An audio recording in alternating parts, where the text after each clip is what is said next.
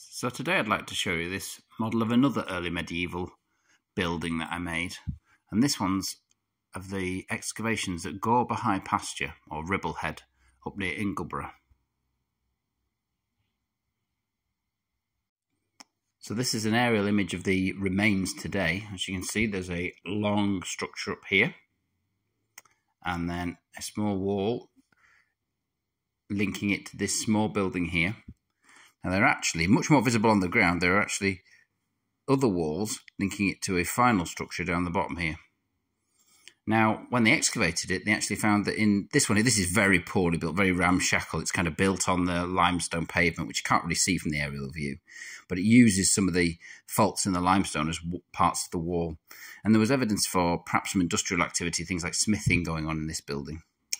There remains of a quern and lots of grain and things in here, so I think it's fair to interpret this as a store, perhaps a cookhouse of some sort. Um, you know, maybe for grinding the bread, baking, and other storage. And then this, of course, is the main domestic dwelling. It does, however, have a partition halfway across. Um, so it's likely that this building was divided into two bits. So let's have a look at how I then interpreted that in the model.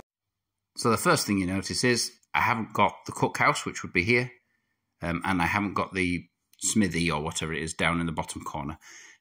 These are already quite big models. I have multiple of them, so it becomes very difficult. I could build it on a smaller scale, but then I lose some of the detail.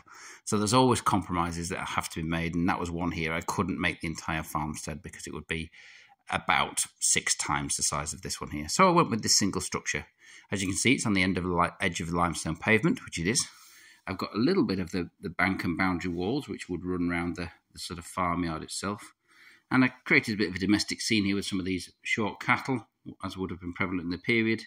Um, a couple of little kids running along the tops of the bank walls, and then a, a man who's clearly just been in the cookhouse or butchering something, um, and a dog very interested in that. Um, and then an older lady watching the kids, and several chickens and things like that around the place too. The fun bit is the roof comes off, so we can actually have a look inside the structure itself.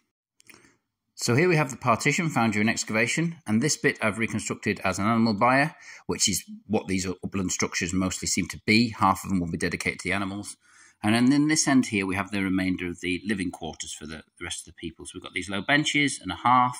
These would serve as beds as well.